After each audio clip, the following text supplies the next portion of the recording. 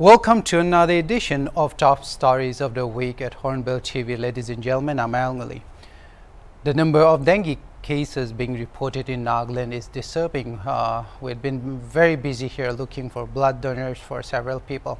Two of my relatives, two got dengue earlier. Uh, further, it was reported just a few days ago that a person in the Dibrugarh died of dengue too. I think there were two of them, if I'm not mistaken. The brother of one of my colleagues, actually news anchor Akive, is also in need of blood units, I'm told, and he had to rush back to the hospital uh, after taking a half day's leave. Nagaland has blood banks, ladies and gentlemen, but I think we need a little bit more of them. The need is not so much for universal blood types, but for the comparatively rare ones. For instance, blood types such as AB negative, B negative, uh, there is AB positive, a negative and A positive, etc., etc. I think our health authorities should consider starting a dedicated blood bank for uncommon blood types. It will be easier for patients to quickly access it. Second, dengue was not prevalent in Nagaland even about 15 years ago as much as it is being reported today, ladies and gentlemen. I think you may have a sense of this. The growth of dengue may be a warning pointing to a poor urban health checkpoints in the district, lack of waste management and proper waste ma management facilities and mechanisms in place, health awareness of the public and other general factors of urban stagnation, especially in places such as Dimapur. This is something to be considered. Third, we seriously, seriously, seriously need concrete traffic enforcement on our roads and highways, ladies and gentlemen. There is one family today in Padampukhuri who, uh, which uh, will no longer have a mother, a wife and a sister because of another highway stop a driver mowed down a woman and a, uh, another person early morning today. No disrespect for our authorities, but our press releases and orders and notices announcing speed limits or high sounding speeches and lip service about traffic rules aren't really helping anymore. It's getting old. Laws can work only if there is the force of enforcement. A system needs to be there to ensure prompt and severe action, not after violation only, but before violation. That is the meaning of enforcement. A deterrent, we need strong deterrence. Let's examine the top news events of the week, ladies and gentlemen. This is very sad news.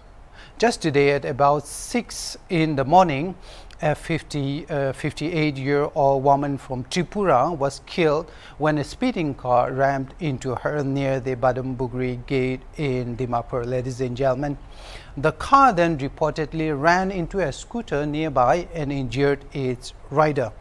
Uh, at this time the show was going on here, the identities of the victims had not been ascertained. Preliminary reports said the offending driver is said to be about 38 years yeah so uh, the police has identified him as one Tituka Chishi. He is uh, said to be currently in police custody.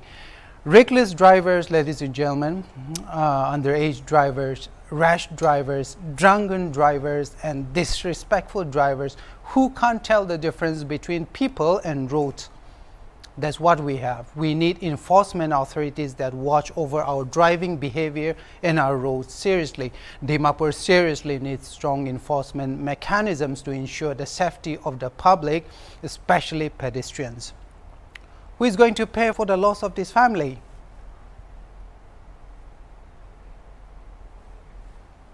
In other news, Kohima has bagged the zone-wise Smart City Award in the India Smart Cities Awards 2022.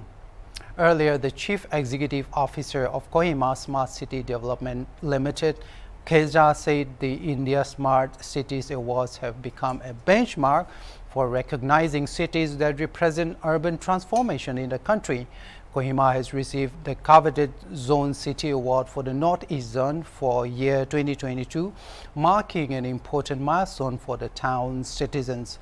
The President of India will be honoring the winners of the awards on September 27th at Indore in Madhya Pradesh.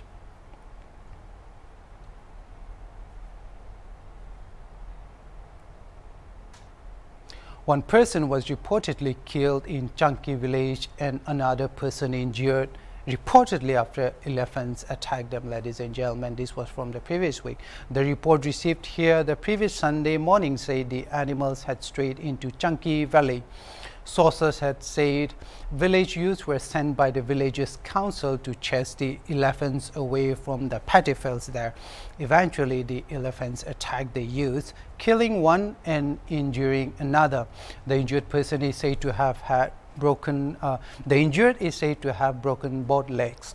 Um, it is believed that the incident happened prior to Sunday uh, as the report said, the funeral for the deceased person was being conducted when the news was first reported on August 27th. Ladies and gentlemen, let's try the next news.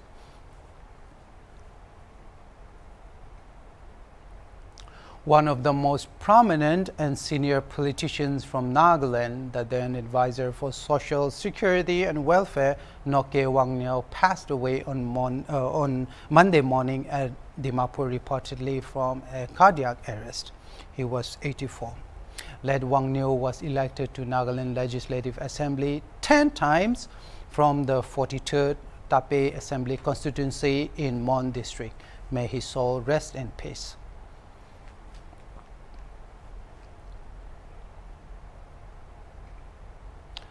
The Nigerian police arrested more than 200 people at a suspected gay wedding.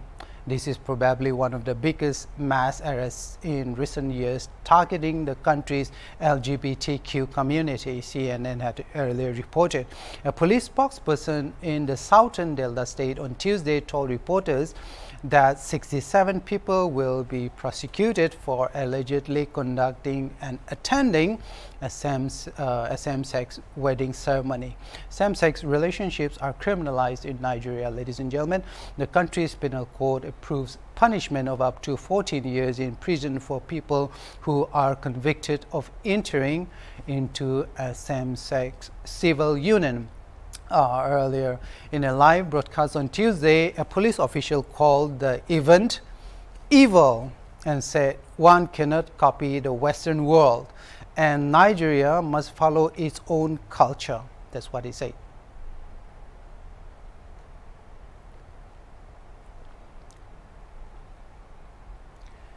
Britain's state-run National Health Services will be the first in the world to offer an injection that treats cancer to hundreds of patients in England. Ladies and gentlemen, the development is expected to cut treatment time by up to three quarters following approval from the Medicines and Healthcare Products Regulatory Agency.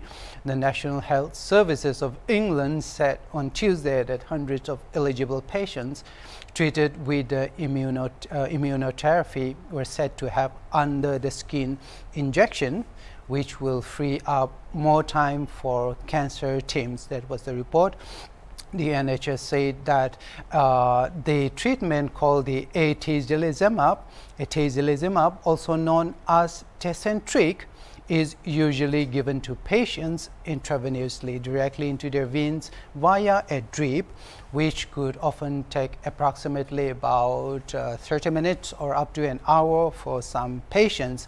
Atezolizumab is said to be an immunotherapy drug that empowers a patient's own immune system to seek and destroy cancerous cells. The treatment is currently offered by transfusion to National Health Service patients with a range of cancers including lung, breast, liver and bladder. The NHS said it was expecting the majority of about 3,600 patients starting from the treatment every year in England to switch onto the time-saving injection.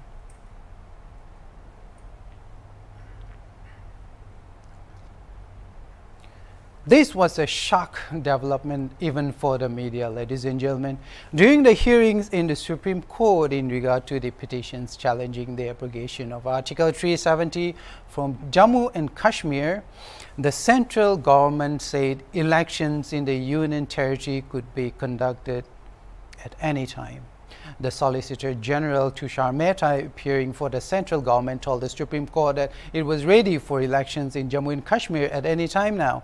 The national media reported that the union government on Thursday apprised the, on Thursday apprised the Supreme Court that it cannot give an exact timeline for the restoration of Jammu and Kashmir's statehood as it used to be but that it was ready to conduct elections. That's what the center said.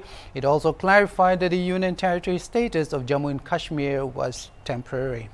Uh, Tushar Mehta is reported to have said that the inability to give an exact time frame for conducting elections is due to repeated law and order disturbances in the valley.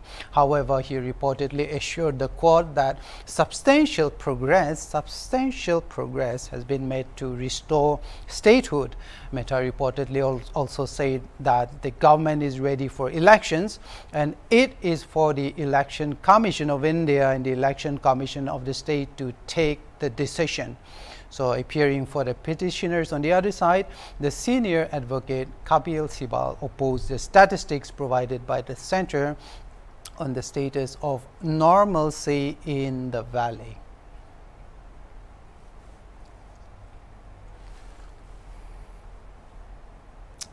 Violence continues in Manipur after the death of Kuki singer and songwriter L.S. Mangboi Lungdim.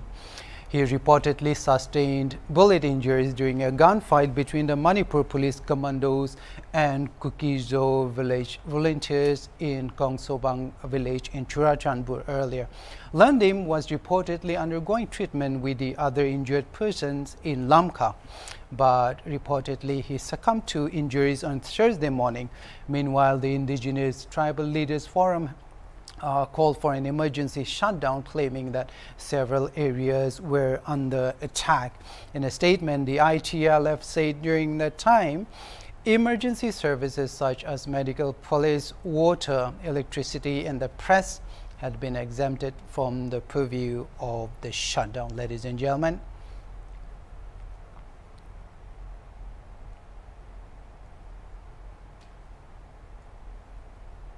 Ah, China seems to believe that the world revolves around them. China released its 2023 edition of its standard map, standard map, which reportedly showed the state of Arunachal Pradesh and the Aksai Chin region as part of Chinese territory. The map released on August 28 showed Arunachal Pradesh, which China claims as South Tibet, not that they call the Arunachal Pradesh region South Tibet and Aksai Chin. It occupied it in, uh, in the 1962 war as part of Chinese territory. Uh, actually, China has a lot of problems with a lot of people, a lot of countries around the world, ladies and gentlemen. Taiwan and the disputed South China Sea are also included within the Chinese territory in the new map. The map also incorporates China's claims over the nine dash line, thereby, uh, thereby laying claim to a large, uh, large part of the South China Sea. Vietnam, the Philippines, Malaysia, and Brunei have all claims over the South China Sea areas, ladies and gentlemen. The map was released by the, Chi uh, by the Chinese Ministry of Natural Resources.